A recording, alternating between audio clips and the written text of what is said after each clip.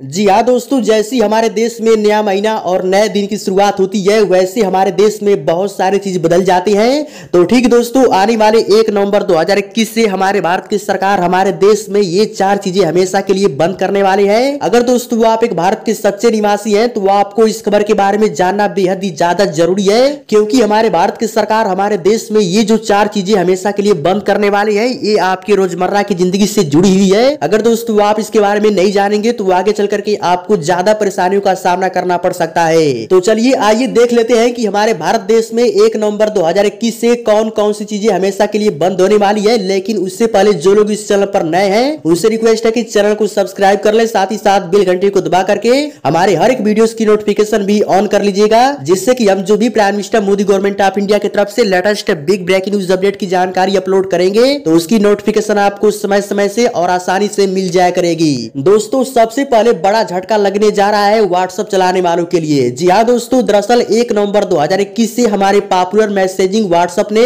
अपने सभी कस्टमरों से यह अपील की है कि अगर आप पुराने स्मार्टफ़ोन में अगर आप व्हाट्सएप का यूज़ करते हैं तो आप पुराने स्मार्टफ़ोन में व्हाट्सएप का यूज़ करना बंद कर दीजिए। क्योंकि आने वाले एक नवंबर 2021 से अगर आप पुराना वाला सेट चलाते हैं, जैसे कि अगर आप सैमसंग जे चलाते हैं सैमसंग जे सेवन नेक्स्ट चलाते हैं, ये सभी स्मार्टफ़ोन अगर आप यूज़ करते हैं तो आने वाले एक नवंबर 2021 से इन सभी पुराने वाले स्मार्टफ़ोन में एक नवंबर 2021 से व्हाट्सएप चलना बंद हो जाएगा। और इसी के साथ दूसरा जो हमारा नया नियम जारी हुआ है, यानी कि हमारे भारत देश में एक नवंबर 2021 से दूसरी जो चीज़ बंद होने वाली है, दोस्तों बता दें कि अगर आपका किसी भी सरकारी बड़े बैंक में खाता है तो एक नवंबर 2021 से हमारे भारत की सरकार ने बैंकों के टाइम टेबल के साथ साथ अगर आप बैंक से पैसे निकालते हैं या जमा करते हैं तो उसके नियम में बदलाव हो चुका है। और अब से दोस्तों, हमारे सभी बैंक नौ बजे से लेकर के दो बजे तक खोले जाएँगे, क्योंकि हमारे देश में अब ठंडी का माहौल शुरू हो चुका है और जब तक हमारे भारत देश में ठंडी का माहौल बना रहेगा, तब तक आपके सभी बैंक सुबह नौ बजे से लेकर के दोपहर दो बजे तक खुले रहेंगे।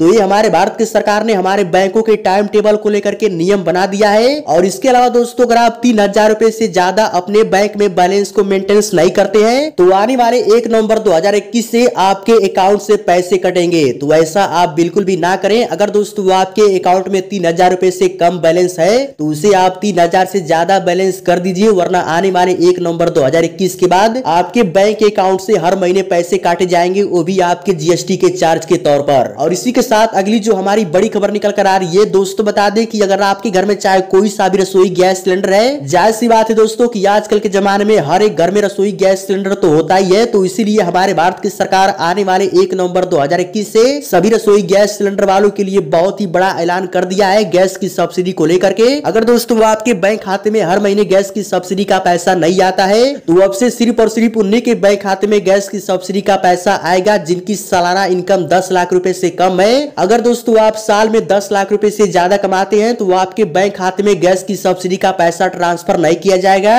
लेकिन अगर आप एक गरीब फैमिली से बिलोंग करते हैं, यानी कि अगर आपकी सालाना इनकम दस लाख रुपए से कम है तो आपको हर महीने अब से एक नवंबर 2021 से गैस की सब्सिडी का पूरा पैसा ट्रांसफ़र किया जाएगा। और इसके साथ ही साथ हमारे भारत की सरकार चौथा जो चीज़ हमारे देश में बंद करने वाले हैं, यानी कि बहुत ही इंपॉर्टेंट चीज़ है। अगर दोस्तों, आप आधार कार्ड का यूज़ करते हैं, आजकल के जमाने में हर एक व्यक्ति के पास आधार कार्ड तो होता ही है। तो अगर दोस्तों, आपका आधार कार्ड अभी तक पैन कार्ड से लिंक नहीं है तो आप जल्दी से जल्दी अपने पैन और आधार को आपस में लिंक करवा लीजिए। वो भी इकतीस अक्टूबर दो हज़ार इक्कीस के पहले पहले अगर दोस्तों, आप एक काम नहीं करेंगे तो आने वाले एक नवंबर 2021 के बाद आपका पेन और आधार दोनों बेकार हो जाएगा, और इसके बाद आपका पेन और आधार दोबारा भी नहीं बनकर तैयार होगा। तो ये कुछ हमारे भारत की सरकार हमारे देश में एक नवंबर 2021 से बहुत ही खतरनाक नया नियम जारी करने वाली है। अगर दोस्तों आप इन सभी नियमों के खिलाफ जाएँगे तो आने वाले एक नवंबर 2021 के बाद आपको भारत में रहना बहुत ही ज़्यादा मुश्किल हो जाएगा। इसीलिए मैंने आपको पहले से यह जानकारी दे दिया हूँ। तो आई होप दोस्तों, आपको यह जानकारी पसंद आई होगी। अगर आपके मन में इस खबर से रिगार्डिंग कोई भी डाउट या कोई भी सवाल या जवाब हो तो वो आप नीचे कमेंट करके पूछ सकते हैं। तो चलिए, इसी खबर के साथ आज का यह वीडियो यहीं पर फिनिश करते हैं। मिलते हैं एक और नई जानकारी में एक और नई अपडेट के साथ, तब तक लिए जय हिंदू, वंदे मातरम।